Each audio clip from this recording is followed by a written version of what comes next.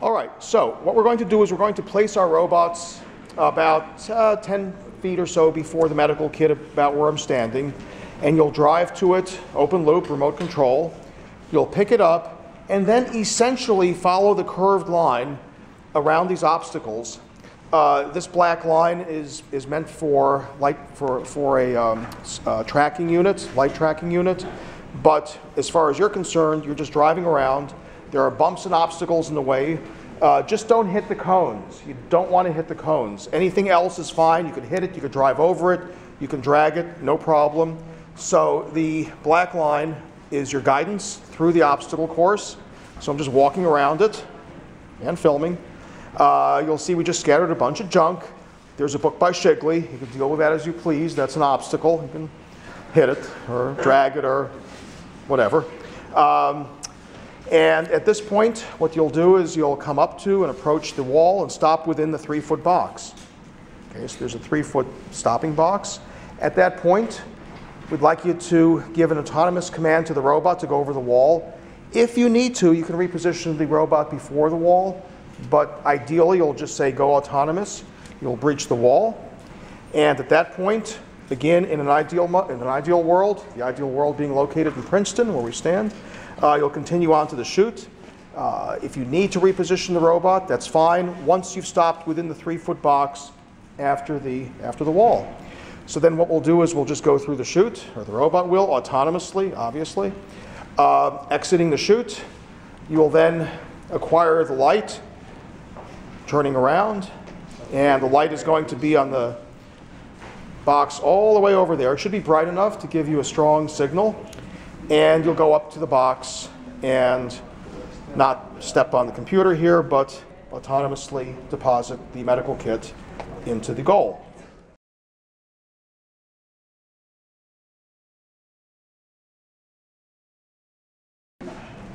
Okay, please announce the name of your team, your robot, and your names. Team Poseidon, and our robot's also named Poseidon. Robert. Um, I'm Robert. I'm Solid. Bearcat. Scott. Katie. Quick. Maya. Two, one, go.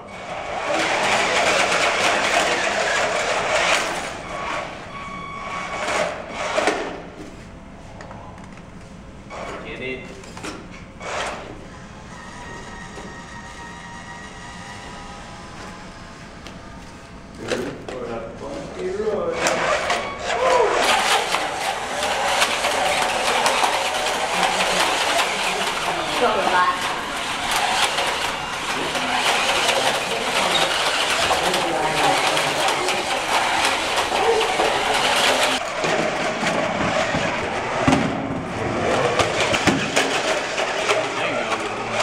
Let's go, Lola. Come on, get you guys here. Yeah, buddy. Yeah, buddy. Find the light. Find the light.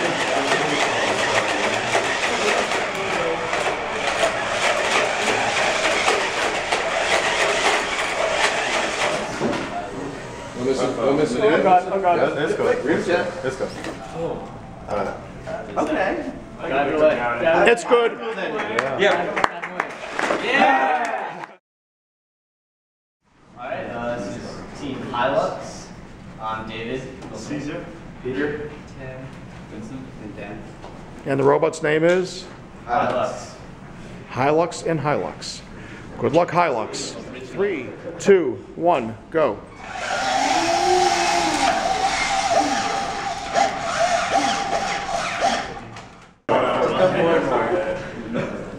Yeah. Oh yeah. Oh, look at that third wheel.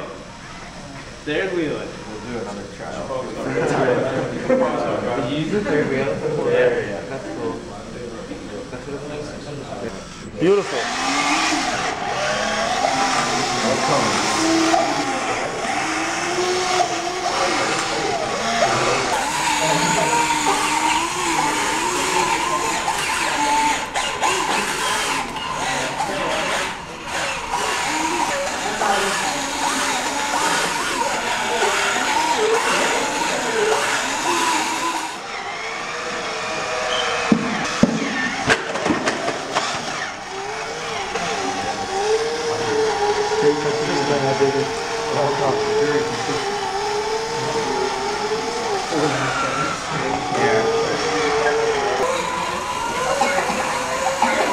move the chair, move the chair, move the chair. Okay, Sorry. All right, this distance. One with it. Right, Jerry, move with it.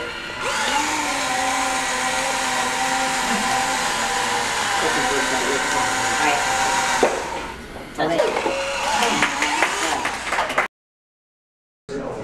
The Flash Club. And uh, I'm Brian. Tom, Ryan. I'm Will. Eric. Good luck. And the robot again is Flashbot. Flashbot. Good luck, Flashbot. All right. On my mark, and three, two, one, go.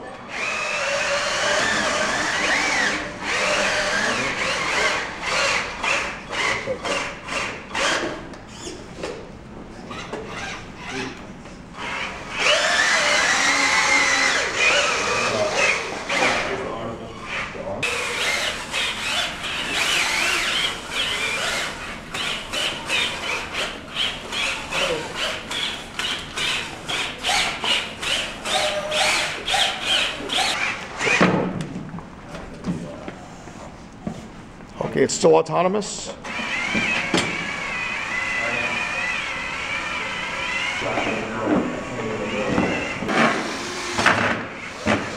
All right, beautiful. Still autonomous? Still autonomous.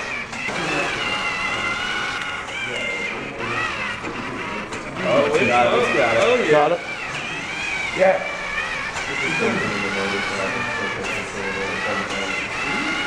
it? Beautiful, all right. Great.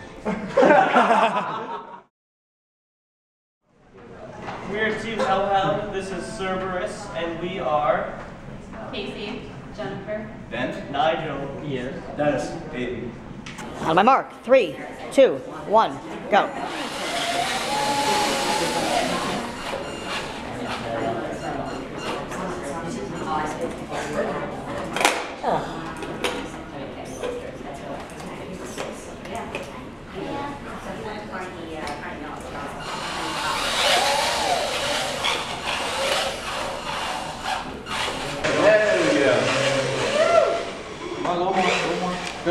And done.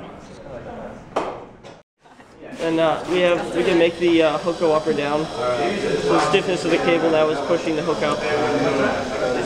Then we can you know control the angle, engage, engage the bar, pull ourselves up. Uh, hopefully engage angle control to tilt ourselves down. The center of mass will then be forward and downward of the ledge of the wall, and then Two, one, go.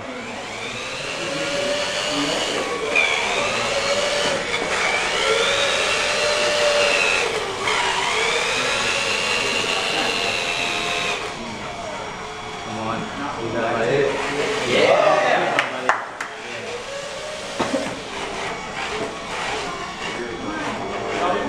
getting this. Chad. We are getting